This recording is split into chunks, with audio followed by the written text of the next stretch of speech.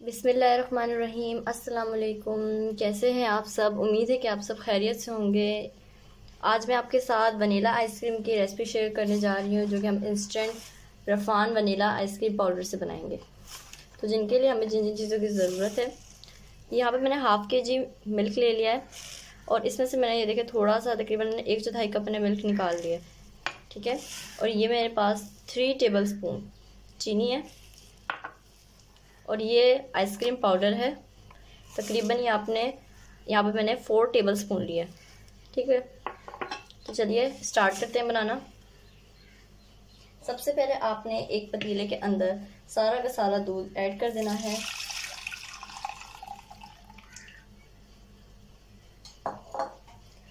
और इसके अंदर आपने चीनी ऐड कर देनी है। और अब मैं इसको चूल्हे पे रख के उबाल आने तक पकाऊँगी। तो ये देखिए, मैंने इसमें चूल्हे पे रख लिया है और अब मैं इसको उबाल आने तक पकाऊँगी।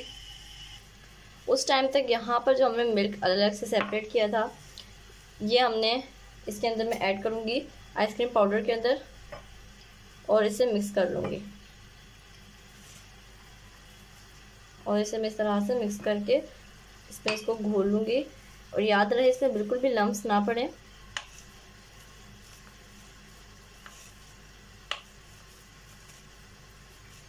ये देखिए, अच्छे से मैंने इसको घोल लिया। ठीक है?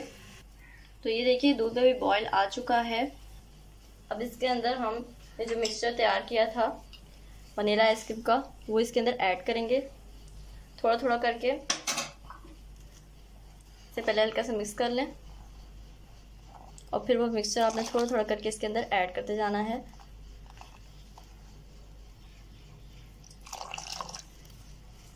और इस तरह से मिक्स करते रहना है।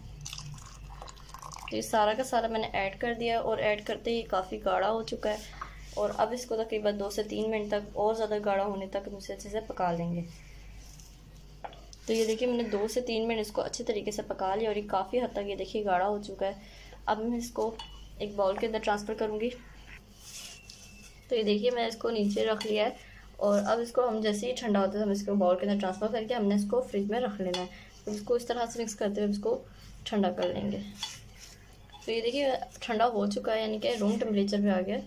अब इसको एक बाउल के अंदर ट्रांसफ़र करते हैं।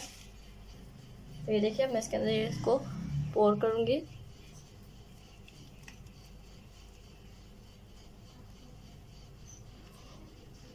ठीक है तो सारा मैंने इसके अंदर पोर कर दिया है। अब मैं इसको फ्रिज में ठंडा होने के लिए रख दूँगी तकरीबन।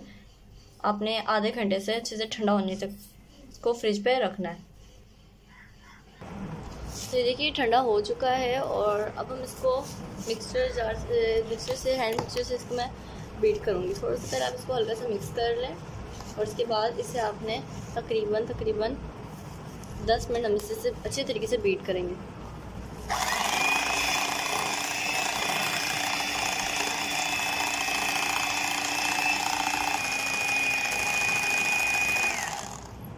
देखिए, तकरीबन मैंने इसे 10 मिनट तक अच्छे तरीके से बीट कर लिया है। अब ये मेरे पास है ओलपर्स क्रीम ये हम हाफ़ पैकेट पर यूज़ करेंगे, ठीक है? इसके अंदर मैं ऐड कर रही हूँ। तो देखिए, मैंने ऐड कर लिया है और अब इसको बीट करूँगी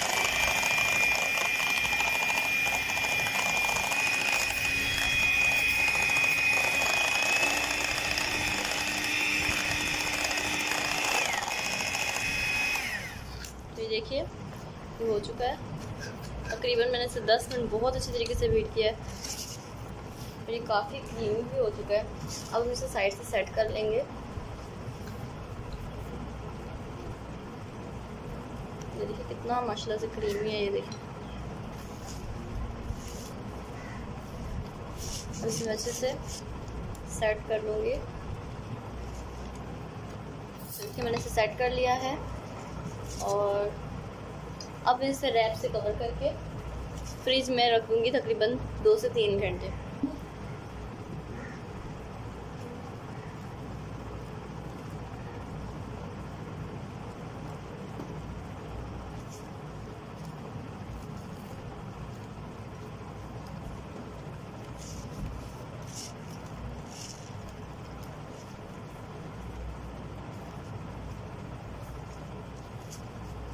अब इसे तकरीबन मैं दो से तीन घंटे फ्रिज में रखूँगी जमने के लिए और उसके बाद फिर से हमने इसको बीट करना है और फिर हम ये आइसक्रीम हमारी तैयार हो जाएगी। ठीक है?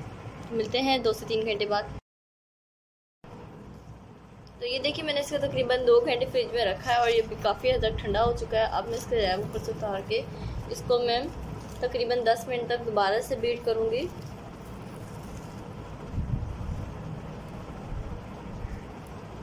ये देखिए कितना अच्छे से जम चुका है ये। अब मैं सर्व करूँगी और इस तरह से करने से ये ज़्यादा क्रीमी बनता है और बहुत ही अच्छी आपकी आइसक्रीम रेडी होगी। तो अब इसको तकरीबन 10 मिनट तक बीट करते हैं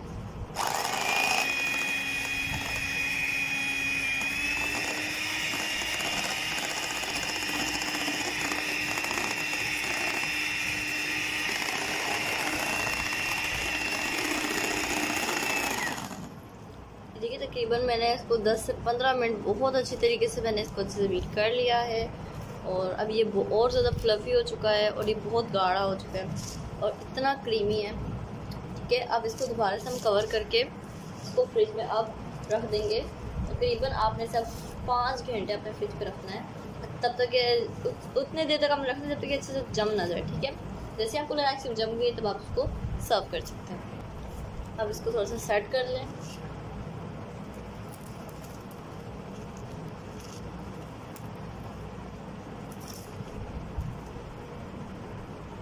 है थोड़ा सा इसे हम सेट कर लेते हैं।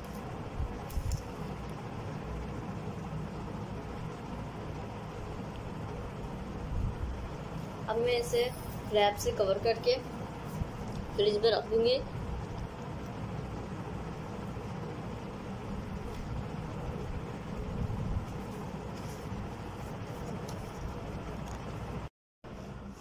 तो देखिए इसे मैंने फाइव आवर्स के लिए मैंने इसको फ्रिज में रखा और ये बहुत अच्छे से रेडी हो चुकी है। बिल्कुल सेट हो गया अब इसे डिश आउट करते हैं। ये देखिए, बहुत अच्छे से ये देखिए, जम चुकी है। ठीक है, अब इसे डिश आउट करते हैं। तो ये देखिए, कितनी क्रीमी बनी है। ये देखें आप। बिल्कुल सॉफ्ट है और ये कितनी ज़्यादा क्रीमी है। तो आई होप कि आपको ये वीडियो बहुत पसंद आई होगी। अगर मेरी वीडियो अच्छी लगी तो प्लीज़ लाइक करें सब्सक्राइब और शेयर करें अपने फ्रेंड्स के साथ। तो नेक्स्ट वीडियो तक, अल्लाह हाफिज़।